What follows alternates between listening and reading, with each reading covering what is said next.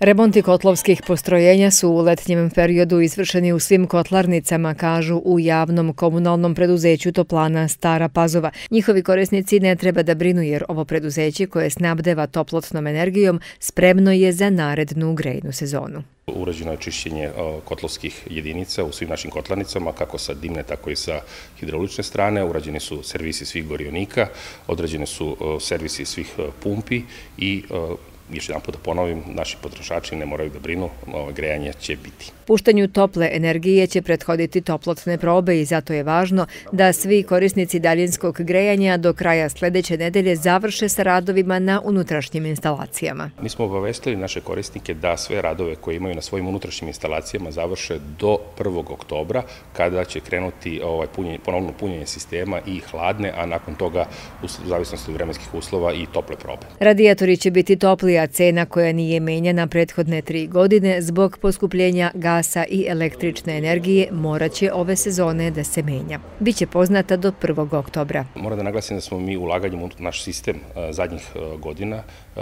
dosta uradili na uštedi i da nismo, bili, e, nismo morali da povećavamo e, cene naših usluga.